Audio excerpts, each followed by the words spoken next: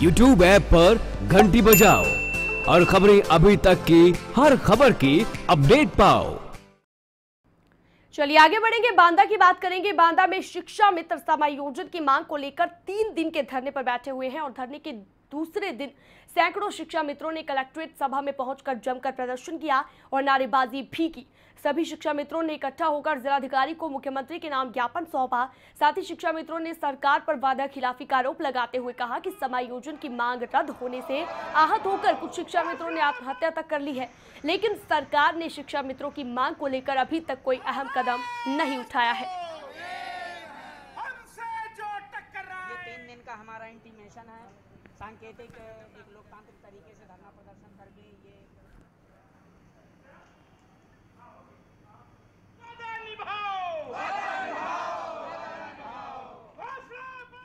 तो शिक्षा मित्र यहाँ पर धरने पर बैठे हुए नज़र आए। लगातार धरना उनकी ओर से दिया जा रहा है। समायोजन की मांग उनकी है, जिसके चलते शिक्षा मित्र धरने पर बैठे हैं। विरोध में जमकर प्रदर्शन भी उनकी ओर से किया जा रहा है। उनका कहना है कि उनकी मांगों पर ध्यान नहीं दिया जा रहा।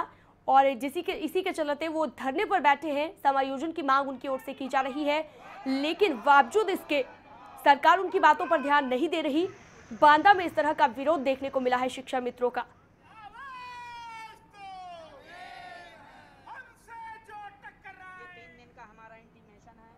सांकेतिक, एक लोकतांत्रिक तरीके से धरना प्रदर्शन करके